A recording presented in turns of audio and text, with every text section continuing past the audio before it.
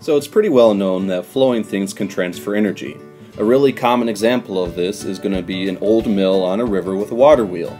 The mill has a dam, it's backed up the water, and as the water flows over this wheel, it's going to give energy to the mill so the mill can do things like make flour or whatever it may be.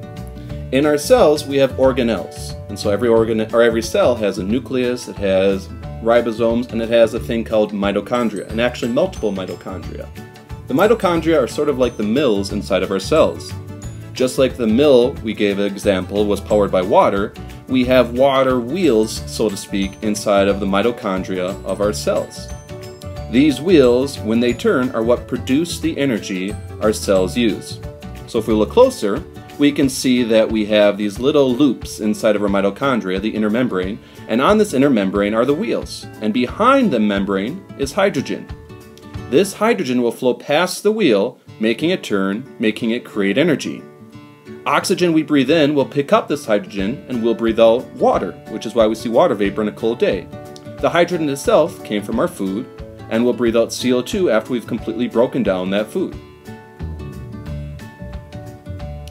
Flowing hydrogen is what powers the creation of ATP, which is our cell's energy, from ADP and PI. So again, if we look inside the mitochondria, we can see an inner membrane with the wheels or ATP synthase on them, and we can see hydrogen behind that membrane. Hydrogen flows past the wheel, the wheel turns, and the wheel will make ATP from ADP and PI. ADP and PI go into the wheel, and ATP comes out of the wheel. And again, ATP is the energy of our cells. It has power and it can provide energy to power cellular activity. In a way, ATP is sort of like a rechargeable battery. So imagine your standard rechargeable Duracell, when it's charged it's ATP and has three phosphates. An uncharged battery is like ADP and has two phosphates.